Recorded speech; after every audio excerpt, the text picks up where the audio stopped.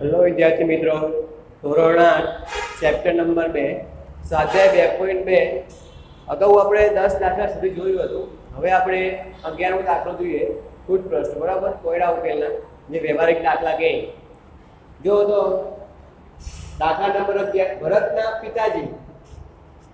ભરતના દાદા કરતા છવ્વીસ વર્ષ નાના અને ભરત કરતા ઓગણત્રીસ વર્ષ મોટા છે.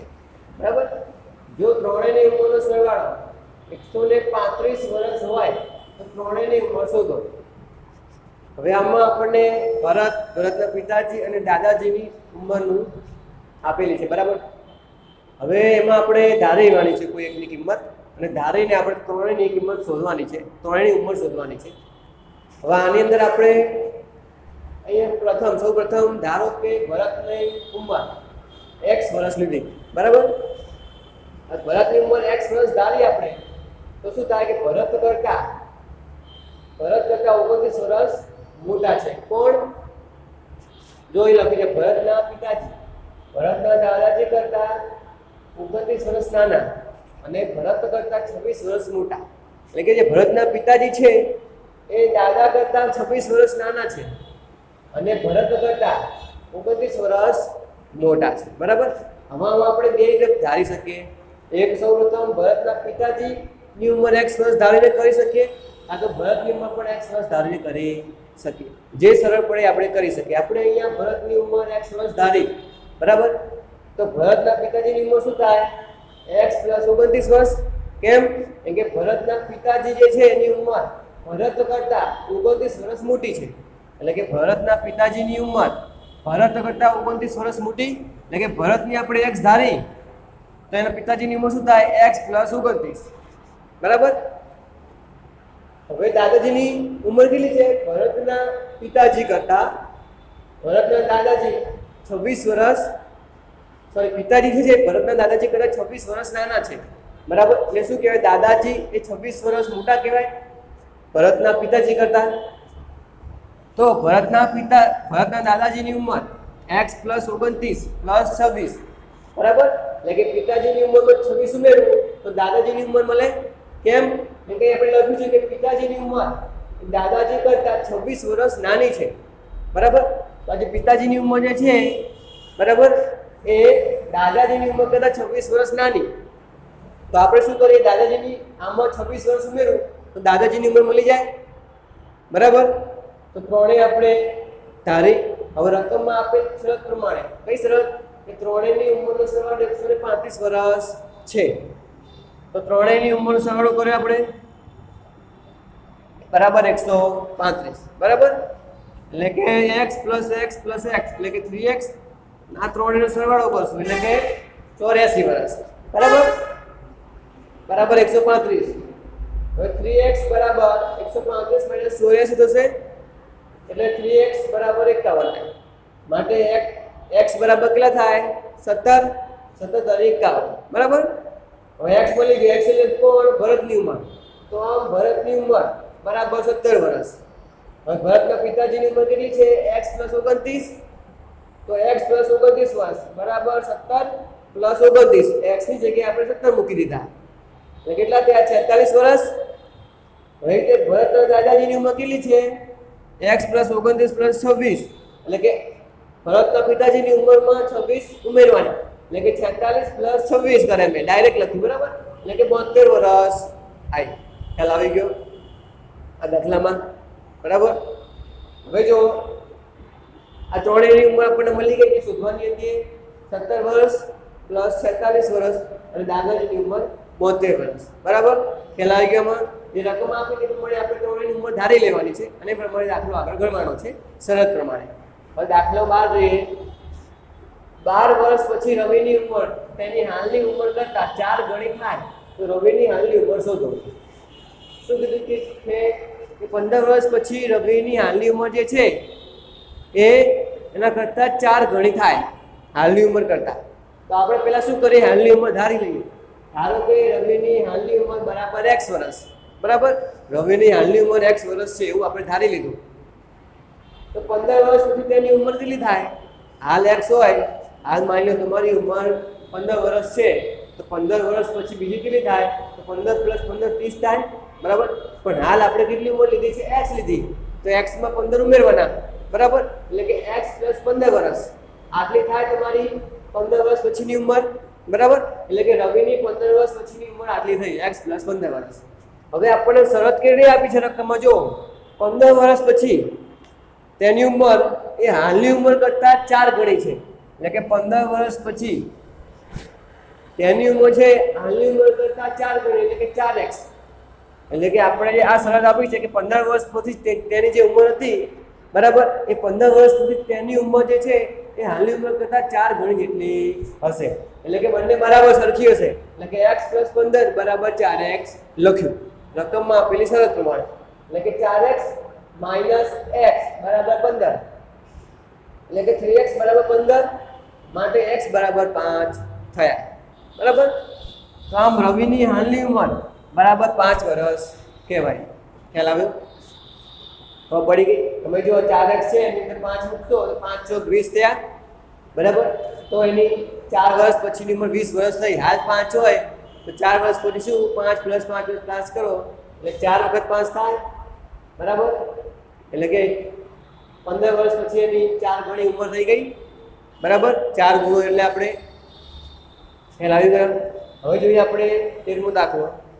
એક સમય સંખ્યાઓને પાંચ ભાગ્યા બે વડે ગુણી અને પરિણામમાં બે ભાગ્યા ત્રણ ઉમેરતા આપણને માઇનસ બાર ભાગ્યા બાર મળે તો તે સંખ્યા શોધો. અને કોઈ એક સમય સંખ્યા છે એને શરત આપી છે આપણને આવી ગઈ. પહેલાં પાંચ ભાગ્યા બે વડે ગુણો. પછી તેમાં બે ભાગ્યા ત્રણ ઉમેરો. આવું કર્યા પછી આપણને જવાબ શું મળે? કે માઇનસ સાત ભાગ્યા બે. બરાબર? આવું પરિણામ જવાબ મળે છે.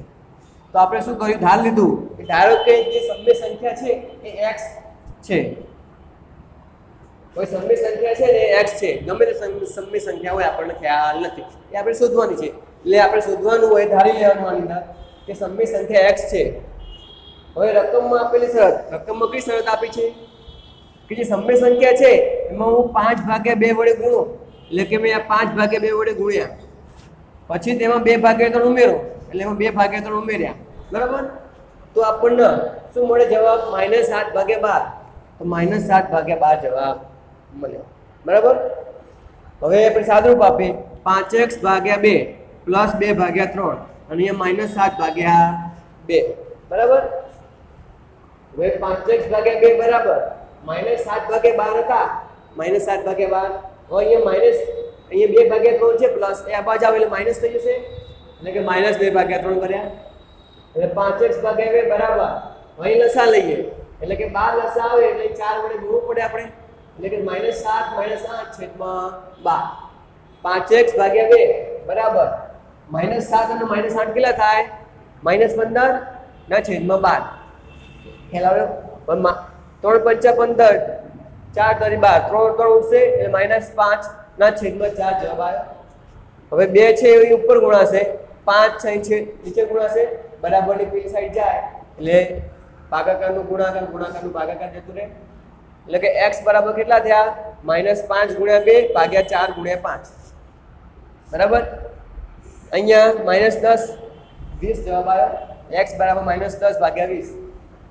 છેદ ઉડાડીએ, આપણે એટલે એક્સ બરાબર માઇનસ એકના છેદમાં બે આવ્યો બરાબર? એક્સ શું છે આપણી? કોઈ સંખ્યા છે સમય સંખ્યા. અહીં ધાર્યું તો આપણે. બરાબર? તો આમ સમય સંખ્યા માઇનસ એકના છેદમાં બે છે. એટલે કે એક ભાગ્યા બે સમય સંખ્યા એવી છે, જેમાં આપણે પાંચ ભાગ્યા બે ગુણીએ, બે ભાગ્યા બે બે ભાગ્યા ત્રણ ઉમેરીએ, તો આપણને જવાબ માઇનસ સાત ભાગ્યા આઠ મળશે. તમે આ જે સમીકરણ બનાવ્યું એમાં એક્સની જગ્યાએ મૂકી દેજો. તમને આટલો જવાબ આવશે. તો આપણો જવાબ જે છે એ સાચો. બરાબર? ખ્યાલ આવી ગયો. હવે જો આ જે દાખલો છે એનું બીજી રીતમાં ધારીને કરવું હોય, તો કઈ રીતે કરવાનું? જો આમાં આપણે ભરતના પિતાજી છે, એની ઉંમર એક્સ વર્ષ ધારીએ. એટલે કે ધારો કે ભરતના પિતાજી ની ઉંમર બરાબર એક્સ વર્ષ છે. તો ભરતના પિતાજી ભરતના દાદાજી કરતા છવ્વીસ વર્ષ નાના. એટલે શું ભરતના દાદાજી જે છે? એ શું થયું? ભરતના પિતાજી કરતા છવ્વીસ વર્ષ મોટા થાય કહેવાય? બરાબર?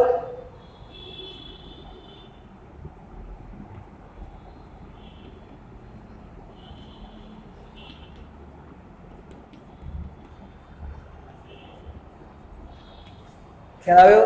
જે પિતાજીની ઉંમર છે, એ દાદાજી કરતાં છવ્વીસ વર્ષ નાની છે. તો દાદા દાદાજીની ઉંમર કેટલી થાય? આમના કરતાં છવ્વીસ વર્ષ મોટી થાય? તમારા જે પિતાની ઉંમર હોય, માની લો પચાસ વર્ષ હોય, અને દાદાજીની ઉંમર એમના કરતાં છવ્વીસ વર્ષ મોટી હોય, તો પિતાજી છવ્વીસ વર્ષ નાના કહેવાય? પછી શું કીધું જો ભરત કરતાં છવ્વીસ વર્ષ મોટા છે. પણ પિતાજી જે છે, ભરતના પિતાજી ભરત કરતાં છવ્વીસ વર્ષ મોટા. બરાબર? ભરત કરતાં છવ્વીસ વર્ષ મોટા. તો ભરતની ઉંમર કેટલી થાય? સોરી ઓગણત્રીસ વર્ષ મોટા. તો ભરતની ઉંમર કેટલી થાય? ઓગણત્રીસ વર્ષ નાની? ભરતના પિતાજી એ ભરત કરતા ઓગણત્રીસ વર્ષ મોટા છે. તો ભરત કેટલો હોય? ઓગણત્રીસ વર્ષ નાનો હોય એટલો? બરાબર? માટે ભરતની ઉંમર બરાબર એક્સ માઇનસ ઓગણત્રીસ વર્ષ ખ્યાલ આવ્યો?